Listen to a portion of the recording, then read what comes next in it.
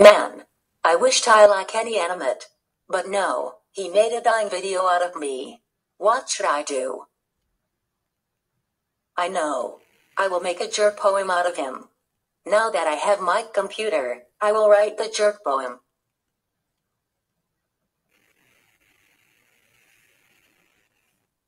Oh no. In Discord, Lily wrote a jerk poem. This is terrible. I am calling Doris, Caillou, and Cody about this. Hello. Is this Caillou, Cody, and Doris? Good, because you need to know that Lily Anderson wrote a jerk poem about me in Discord. I mean, I respect her opinion about me. Can you ground her? She did what? Oh, What?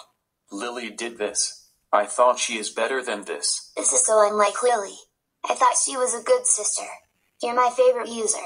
Don't worry, we will ground her. oh. Lily. How dare you write a jerk poem about Kenny Animate in Discord? I thought you were better than this. But you did something bad. This is so unlike you. Kenny Animate is my favorite user.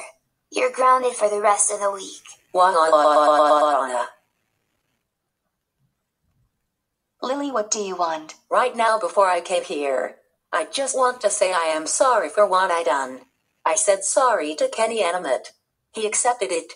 Can you forgive me?